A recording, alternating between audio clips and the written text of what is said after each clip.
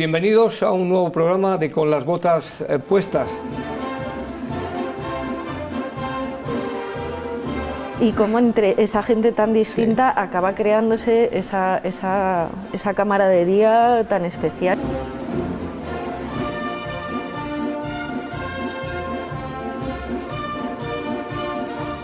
El valor militar también es un, es un valor, que no es, no es específico o exclusivo de los militares, pero ese valor que no es no tener miedo, es, es superar ese miedo, es ver que hay un bien superior, que es cumplir la misión, y el militar tiene que ser capaz de vencer ese miedo, con ese valor militar cumplir la misión.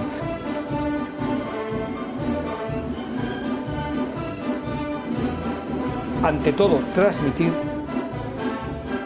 más allá de las lágrimas.